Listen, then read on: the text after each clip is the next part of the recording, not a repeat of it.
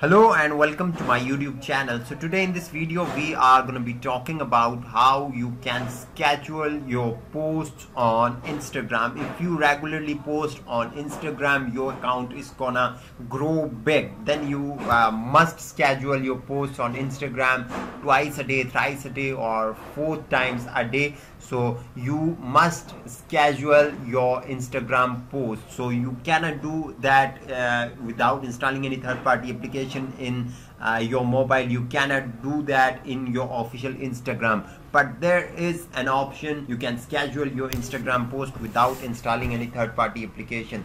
So let's get started and see how you can schedule your post on instagram without installing any third party application. So you must have an uh, a desktop version. So first of all you'll have to open your browser in your mobile or in your desktop. Then you'll have to open creator studio. Okay?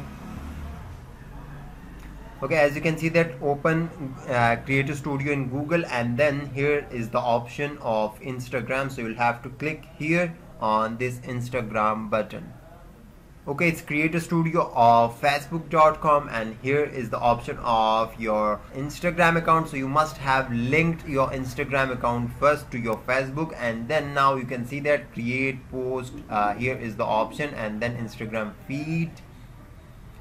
And then you'll have to click here and then add your pictures okay it's done. Now as you can see that and uh, I can just do advanced settings and all the things are here.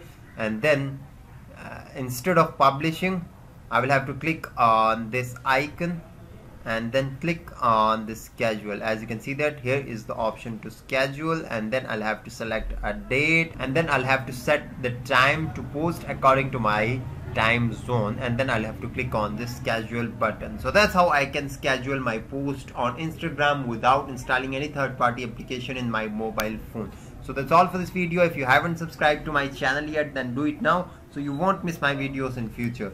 Thank you for watching. Subscribe for more